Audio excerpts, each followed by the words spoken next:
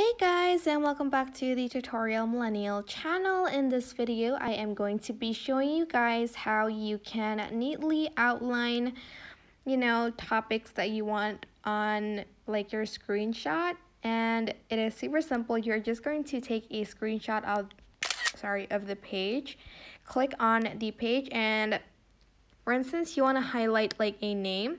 And to do this neatly, you're just going to draw an oval and then press on it for a few seconds. This one's a little bit, oops, too big, but to do that, like, do that and sort of hold it. You can also do it with like lines, for instance, like this, and then just hold it and it'll create this straight line. Um, so you can like highlight the things you need on that screenshot. And that is basically it. I hope that is helpful for you guys. Don't forget to like, comment, share, and also subscribe to this channel if you haven't done that. If you have any questions, just leave it in the comment section down below and I will try my best to answer them all. Thank you so much for watching. Bye!